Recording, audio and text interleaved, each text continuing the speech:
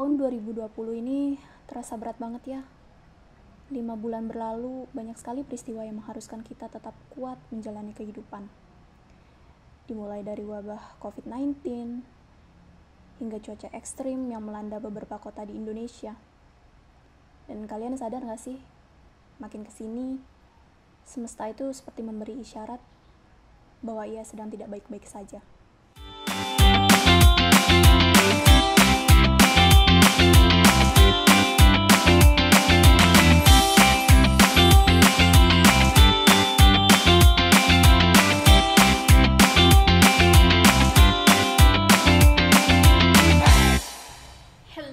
Selamat datang di podcast Proklim Pojok Obrolan Iklim. Hai semuanya, kenalin gue Sevi Rahayu dan ini adalah podcast pertama stasiun klimatologi Kupang yang di mana episode pertama kali ini akan bahas masalah iklim ekstrim yang saat ini mungkin kebanyakan di antara kalian yang akhir-akhir ini sering ngerasa bentar-bentar panas, tapi kok bentar-bentar hujan, bahkan sekalinya hujan jatuhnya kok nggak tanggung-tanggung. Padahal kan bulan ini seharusnya kemarau. Hmm, kira-kira kenapa ya? Sebelum kita ke inti, ada baiknya nih kita harus tahu dulu apa definisi dari ekstrim itu sendiri. Ibarat pepatah, tak kenal maka tak sayang. Oke, definisinya sendiri itu sangat beragam. Tapi menurut BMKG, suatu kejadian dikatakan ekstrim apabila kejadian tersebut jarang terjadi atau hanya 5% bahkan kurang dari seluruh kejadian. Di era yang seperti ini, sebenarnya iklim ekstrim itu perlu diberikan perhatian yang lebih khusus dan lebih serius. Seserius doi meyakinkan perasaannya ke lo. Ya. Tapi kali ini beneran serius karena dampak dari iklim ekstrim itu nyata banget. Aktivitas manusia bakal bisa keganggu dan kalian ngerasa nggak sih? Kayak misalnya nih, petani yang harusnya bakal panen, tiba-tiba bisa gagal karena mendadak hujan deras yang ujung-ujungnya banjiran. Atau bahkan yang harusnya hujan nih otomatis petani bakal rame dong nanam padi. Begitu udah nanam eh malah nggak hujan. Atau bahkan sama sekali nggak turun. Air di bendungan juga menyusut akibat kekeringan parah. Mungkin sebagian dari lo masih belum aware tapi kalau kita semua nggak bisa beradaptasi dampak kerugian yang ditimbulkan itu akan mas akan makin terasa gila sih. Akan makin terasa parah banget gitu loh. Kayak dan bahkan bisa menelan korban jiwa. Bukan korban perasaan lagi. Hmm, parah kan tuh? Kejadian iklim ekstrim ini ditinjau dari dua indikator yaitu suhu udara dan curah hujan. Nah kali ini kita bahas dulu ya yang dari segi hujannya untuk menentukan batasan ekstrim dari hujan, dapat dilihat dari nilai persentil yang dihitung dari seluruh hari hujan pada periode data yang tersedia. Oh ya, kalau mau bahas masalah batasan kejadian ekstrim, nggak boleh jauh-jauh dari yang namanya data. Karena apa?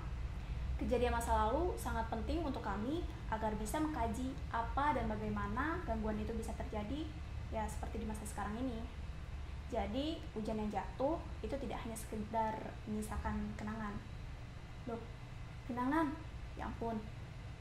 Oke, serius lagi nih. Curah hujan itu sebenarnya memiliki variabilitas tinggi terhadap skala ruang dan waktu.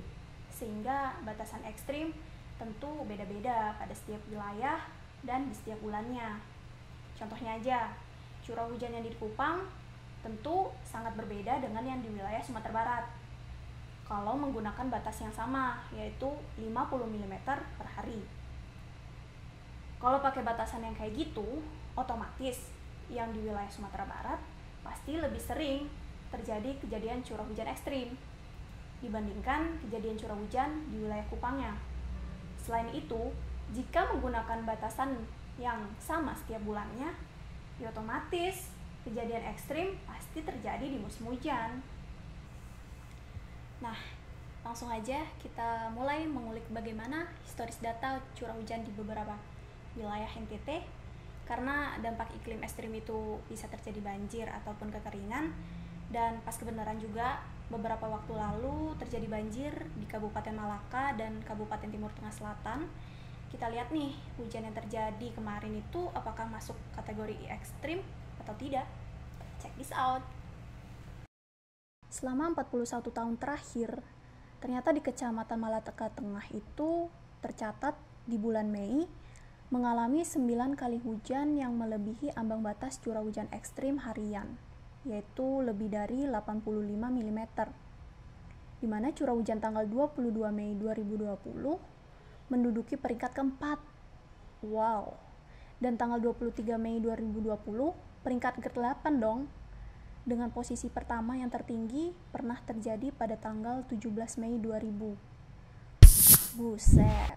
Sementara itu, di Kecamatan Malaka Barat, selama 22 tahun terakhir, tercatat bahwa di bulan yang sama yaitu Mei, mengalami empat kali hujan yang jatuh melebihi ambang batas curah hujan ekstrim harian, yaitu lebih dari 90 mm. Lebih besar ya dari Malaka Tengah di mana curah hujan tanggal 22 Mei 2020 menduduki peringkat kedua dengan posisi pertama yang tertinggi terjadi pada tanggal 11 Mei 2012. Masih di bulan yang sama yaitu bulan Mei, di Kecamatan Amanatun Utara selama 12 tahun terakhir mengalami empat kali hujan yang jatuh melebihi ambang batas curah hujan ekstrim harian, yaitu lebih dari 100 mm.